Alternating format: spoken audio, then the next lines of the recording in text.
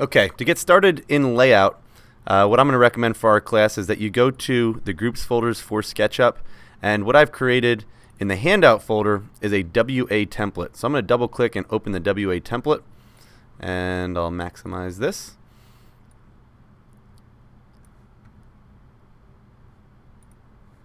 And now what's on the screen here is a, a template that's that's great for all of our uh, orthographic views we're about to be creating and and bringing into uh, this layout document. Uh, to first get started, we're going to start by inserting the document that we just created, which in this case it was number 20, and I have it saved.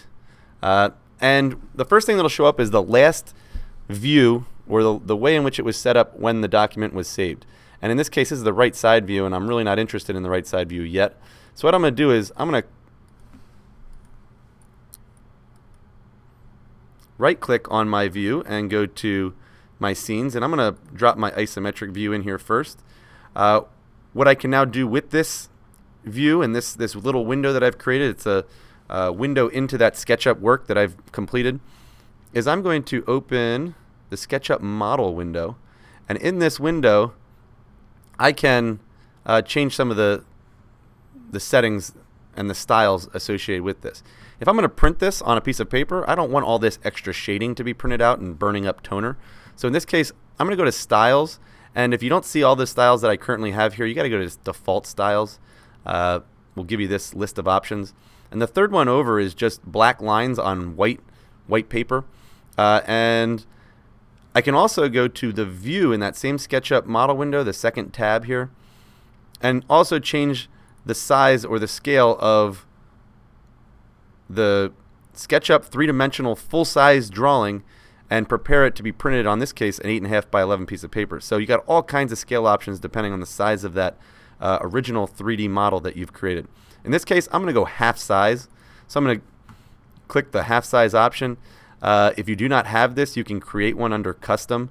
Uh, half is not a default uh, scale factor, uh, but it works well for our documents. So you can go down to custom and create a half size uh, scale factor and apply it if you do not have it already.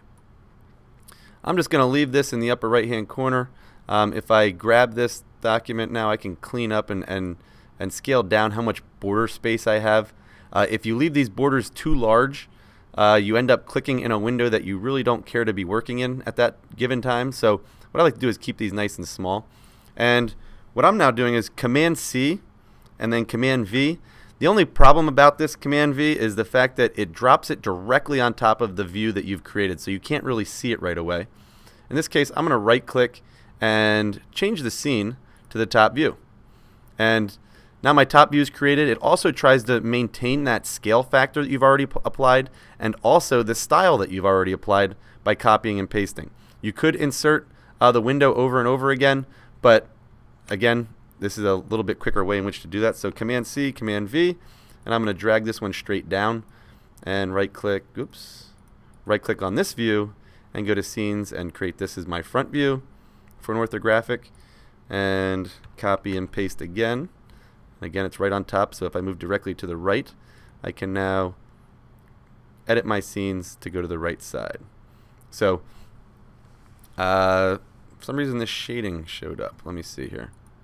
Okay, just had to reapply that uh, style to this this particular view. I'm not sure why that didn't carry over.